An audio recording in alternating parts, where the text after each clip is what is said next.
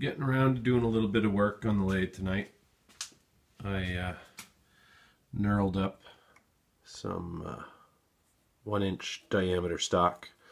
It's for uh, just some locking, thumb locking nuts. Anyway, so I had to start, uh, I gotta start drilling the hole in the end of this brass, and uh, brass gets pretty sticky, along with copper and aluminum.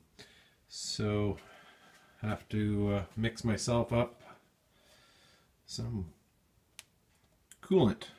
That's just plain old water, and the container is about, uh, it's just a plum sauce container. And uh, I also use uh, ketchup bottles, but this is the one uh, that was in the recycling tonight. Anyway, so I just grabbed a small bucket of oil and just dump her in.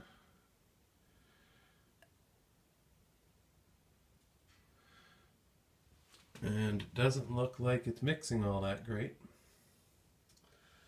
So uh, stick the cap on it. Should come out to a white. And I, I mix it about uh, 8 to 10%.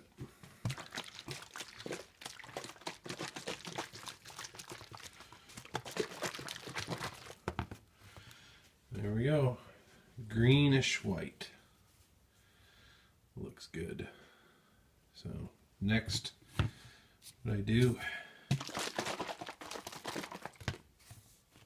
just take a little thumbtack and push it through where the cap closes.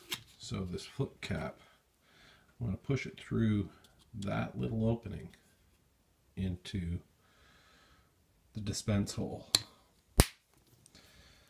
So you take thumbtack and you push it through just like so and you give her a little wiggle around. You can go bigger but I don't uh,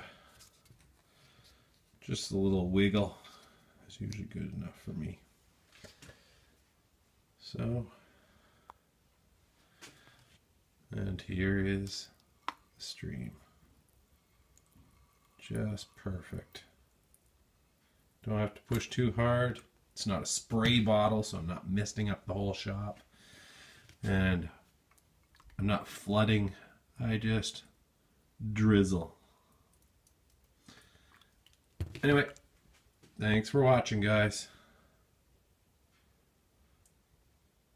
By the way, that is oil water soluble oil.